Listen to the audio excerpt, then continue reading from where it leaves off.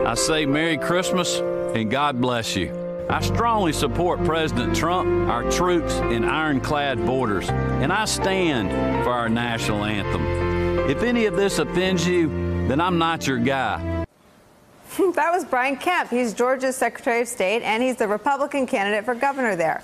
In other words, he's currently overseeing the election he's trying to win. And now he's being sued by a coalition of civil rights groups who say the method his office uses to verify new voter registration is discriminatory. Here's how the Washington Post describes it, quote, the exact match law requires election officials to flag and pause any voter registration application if the identifying information doesn't precisely match the voter's information in existing records, even because of something as small as a missing hyphen or a transposed number. Although voters are not barred from casting a ballot, they must take extra steps to verify their identities. But take a look at who this is really affecting. An investigation by the AP found there are currently more than 53,000 applications currently on hold at Kemp's office, and 70%, 70% of those belong to African Americans. Georgia's population is about 32% black. Kemp's opponent, Stacey Abrams, is demanding that Kemp resign from his post as Secretary of State.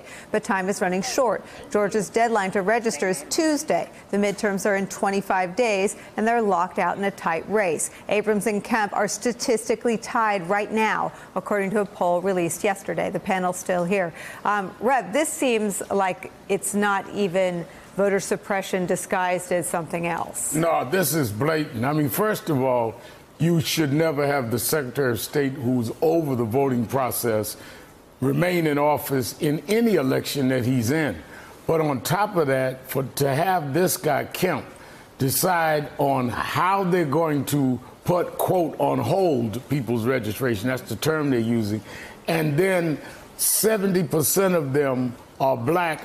That was researched by Associated Press, right. not uh, one of the civil rights groups. Right. This is Associated Press, and none, none of the plaintiffs. This is this is independently by Associated Press, on top of that, to have Kemp in charge of the process, mm-hmm. it, it, I mean, it is as tainted why, as why, you could get. Why wouldn't he recuse himself? I mean, it, the only reason you wouldn't recuse yourself is because you want to have this advantage yep. and you want to be blatantly out there saying, I'm going to do what I want, even if we have to change the rules.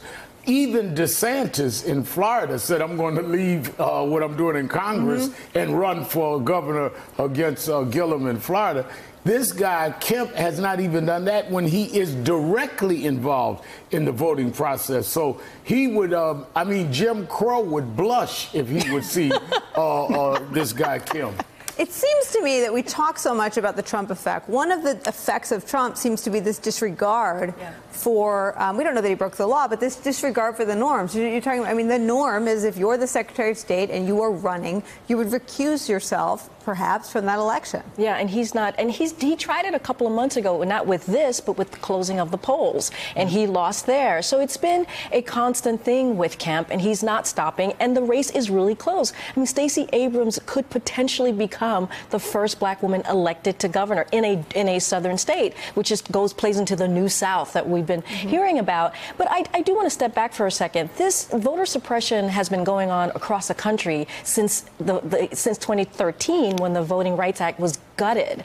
And we saw this in 2016 as well in, in North Carolina, even in Wisconsin. There were voters who were disenfranchised and they were people of color. And so this is this is a new play by Republicans since 2013 and it's unfortunately very successful. The one thing that was really great to see is in Alabama. Alabama had a voter uh, ID, horrible voter ID law, but they they they came they got over it, right? You got 98% of women who came out, black women who came out and voted, and they were able to educate educate people and let people know this is what you do if you if you're turned away to vote.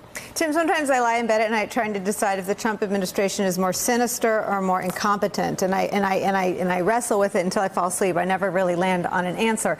But but it would appear that Trump and uh, Jared Kushner are trying to have a position on criminal justice reform. They're, they're trying to, to, get in, they're trying to play in that space, if you will.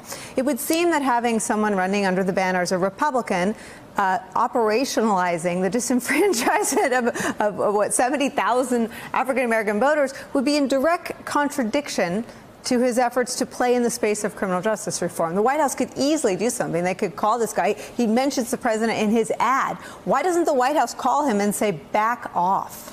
Well, let me relieve you of your burden. When you go to, when you go to sleep next time, you can say that it's both incompetent and sinister. Is it a I don't, tie, I don't though? think you. I don't think you have to choose between the two. Um, you know, I think where they are on prison reform is largely driven by Jared Kushner. Uh, being outraged about how his father was treated when he went to Pardons, yeah, prison. he wants to You play know, in the pardon it- It's a very narrow space of this. Uh, you know, in, in both voter suppression, and this isn't just voter suppression, this is racially charged mm-hmm. voter suppression and gerrymandering. You have the 21st century sort of undoing the 20th century's efforts to get rid of all of these heinous abuses of the 18th and 19th century. And I think that Donald Trump has opened the door to people being comfortable wearing racially charged uh, uh, machinations or raw racism on their sleeve because of the way he responded to Charlottesville, because of his own history in New York and elsewhere of using race as a very divisive tool and just for self-aggrandizement. So other members of the GOP see that. And, and to me, this isn't even about partisan politics, these issues, or ideology. It's about who we are as a country and what's a civilized way to discuss these issues and the extent to which Trump personally and the people around him have just torn that up.